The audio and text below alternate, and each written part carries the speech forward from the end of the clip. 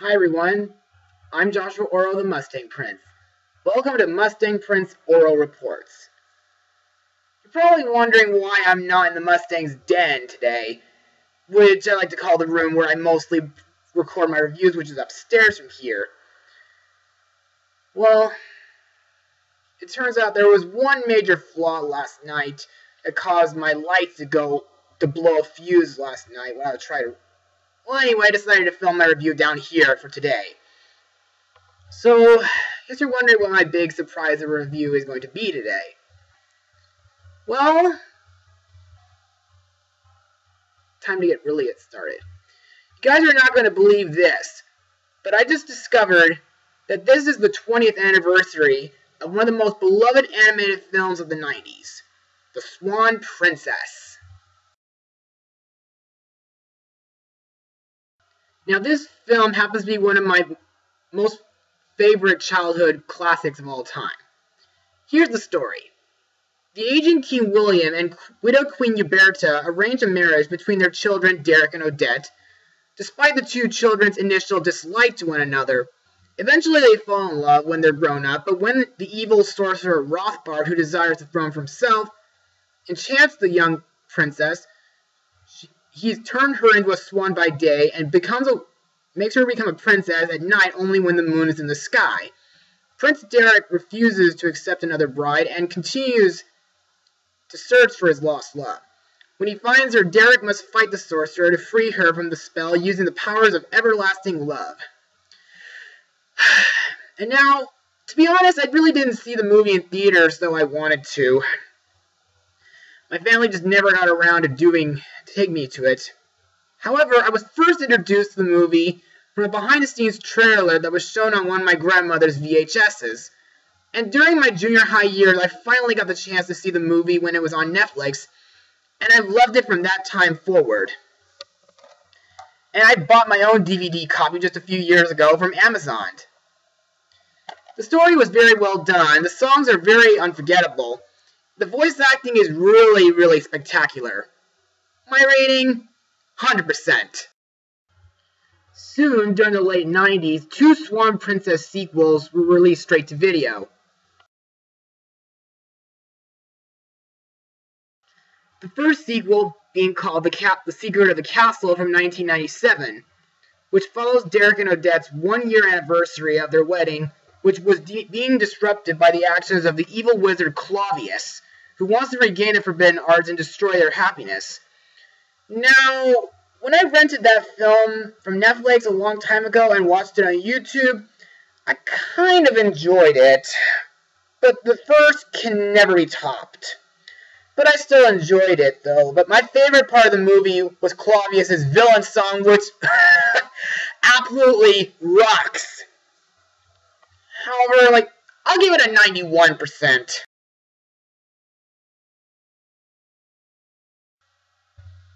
And in 1998, the third film, Mystery of the Enchanted Treasure, was released. This film follows Derek and Odette having to deal with Zelda, a sorceress who is seeking the forbidden arts and wishes it to use it to destroy their happiness as vengeance for Rothbart. And now, to be honest, this movie is alright, but it could have been a little better. Still not as good as the last two films. The new songs were alright, just the story was okay, Plus, Zelda was a really threatening villain. I'll give it 75%. However, I don't have a copy of these two sequels just yet, but one day I'll find a proper time to buy them from either Amazon or Target. As the years went by, I had a feeling that the franchise was going to be over. That is, until the winter of 2012 when the Swan Princess Christmas came along. Unlike the last three Swan Princess films, this one is entirely computer animated. Plus, it takes place between the first and second film. Now, I have been hearing that this one was panned by fans of the franchise, but it doesn't seem to change my feelings for it. I mean, don't get me wrong, I too miss hand-drawn animation, animated films too, but I don't mind computer animation, just as long as it's a good story. And this film is no different. The story is warm and a little dark, the songs are very beautiful, and some parts of it brought back fond memories. So much so that the entire movie made it to number 19 on my top 25 holiday films. Me, it deserves 89%. Now, as I look back at these films, I have a feeling that something may have been a little missing some, at times. But just recently, a new Swan Princess was was released straight to DVD, and and it may have been the subject of what I was wishing for the whole time. And it's going to be the subject of today's blog. Released to DVD on February 25th, 2014, the movie is, well, The Swan Princess, A Royal Family Tale.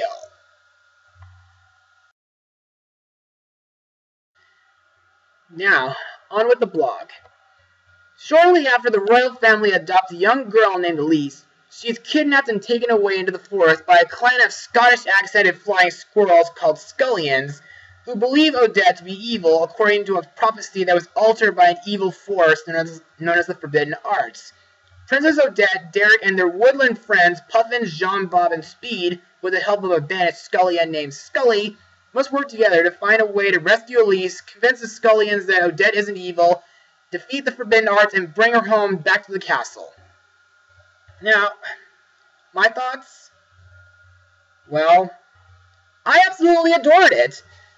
But I have a feeling that this kind of story should have been done before, done a long time ago in the franchise. Now, like, to move on to what I call Mustang Notes. The director of the film was Richard Rich, who directed the other Swan Princess films, along with The Scarecrow, The Trumpet and the Swan, the animated King and I film, and before all that, directed The Fox and the Hound and The Black Cauldron. To me, Rich did a good job directing this sequel. However, like I said earlier, this story could have been done a long time ago. I mean, maybe Rich wanted to do this story, but maybe he couldn't find the proper time to work on it. Now, the studio behind responsible for the computer animation was, well, once again, Crest Animation.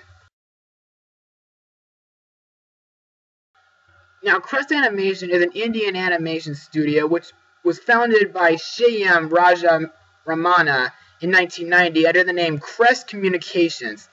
And it first went public in 1995 in 2000, it acquired Rich Animation Studios in the United States after the failures of The King and I and The Trumpet of the Swan. In 2001, it had over 500 employees. However, it had three years of losses during which it laid off all but 110 employees. In 2004, it posted a profit and hired an additional 260 animators, and October 2004 renamed itself to its current name. The current CEO is AK Madhavan. In 2010, the company released an animated feature film in conjunction with Lionsgate called Alpha and Omega, which now the animation may be a bit weird, but I can't say it's it's bad. But I think it's a little bit of an, an improvement over Alpha and Omega. Now, this wouldn't be a Swan Princess movie without a few songs. During this film, there are three songs in a row the first song being We Want to Hear From You is a song where Odette and tr- friends try to make Alise feel happy. Now, this to me is a fun song. It makes everyone, well, anyone able to sing along to it. But at one point in the in the song does show some modern dance moves like a pirouette or a move that Michael Jackson would file copyright for. Still a really fun song nonetheless. The next song, Get the Job Done, might count as a villain song, which is sung by the Scullions as they plan to kill Odette. Like most villain songs, this one is pretty dark, especially during the parts when Mangler discusses his plans with the Forbidden Arts. Then there's Always With You, which is a lullaby, which is sung by Odette when Alise had a nightmare. Lastly, during the end credits, we hear Right Where I Belong, sung by Cherise. That song is one of my favorites in this film, and it's really a nice and fun song. It makes me feel like dancing to it. Now to move on to the characters and their voice actors.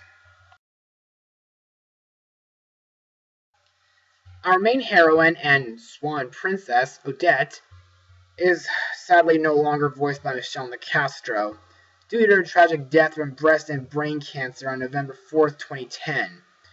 Instead, she's voiced by Lori, Laura Bailey, also known in some films as Ellie Dietz, who, in my opinion, like in the Christmas film, does a beautiful job voicing Odette. In this film, she has a new role. She's now a mother and has a new daughter to protect and love. Plus, she still has that sweet and smart personality she had in the other films. But still, it's a little disappointing that she doesn't turn to a swan in this movie, although it's shown in a few flashbacks.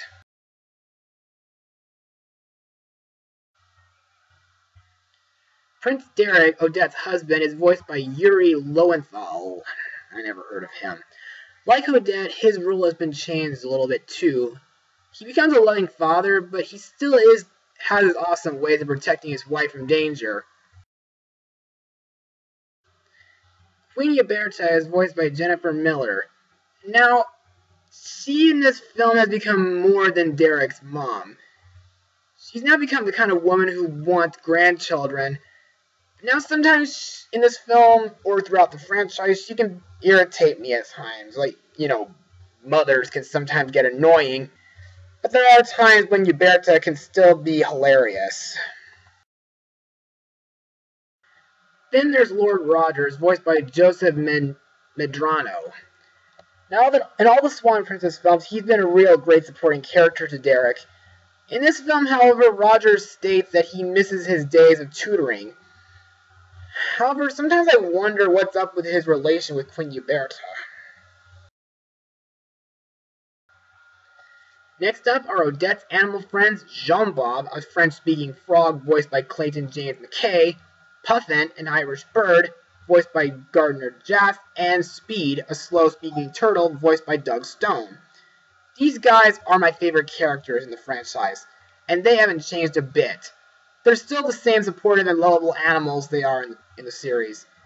However, in this film, Jean Bob doesn't think of himself as a prince as much as he used to anymore. Hmm.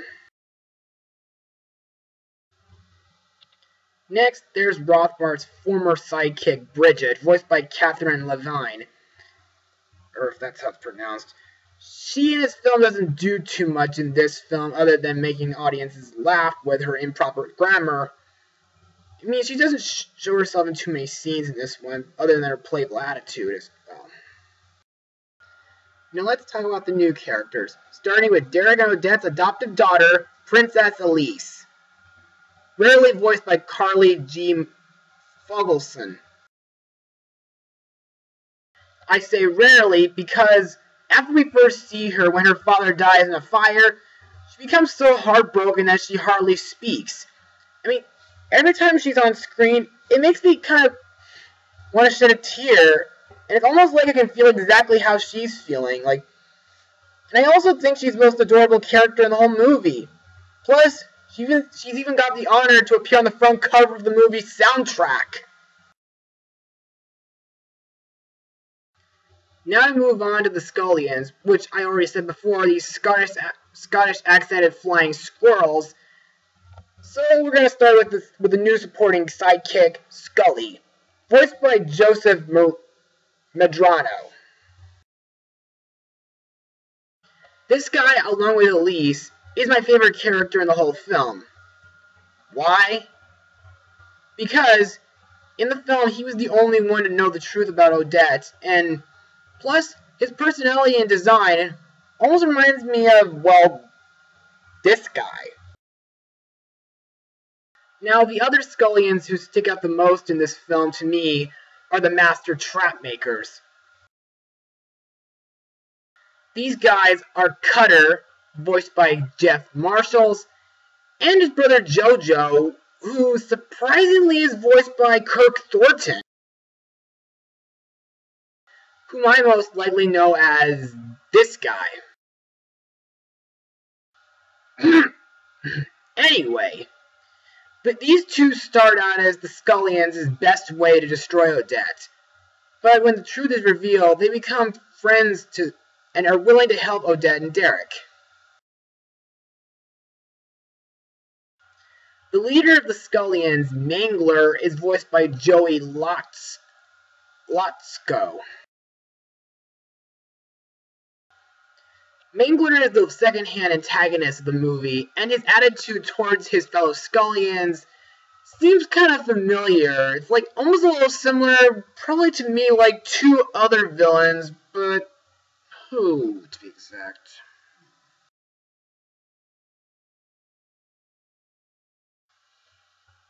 Hmm.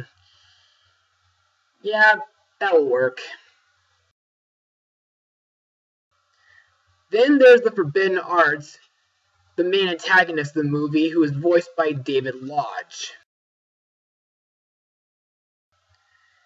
Now, this thing has had the most build up throughout this whole film, even probably the whole series in general, I think.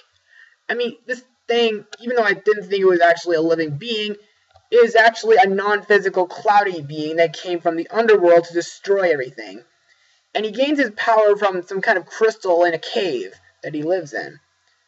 Plus, it was told that he was that he used Rothbart to get to Odette. He's also responsible for burning Alise's house down and killing her father. And lastly, the narrator is voiced by Catherine Levine. And now to move on to my final words of this film. Above all, the Swan Princess A Royal Family Tale is a really heartwarming sequel. Like the Christmas movie before this, it brings back a lot of warm memories from the first movie. The songs may be a bit rushed in this movie, but they're still memorable. The story is simply adorable, but dark at times. The characters are enjoyable and fun. And like I said earlier, the first Swan Princess can never be topped, no matter what movie may come afterwards.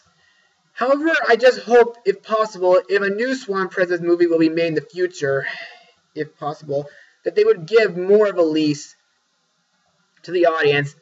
But for now, I welcome her to this franchise as Odette and Derek's new daughter. I give this film a rating of 97%. Well, that's all for now, people.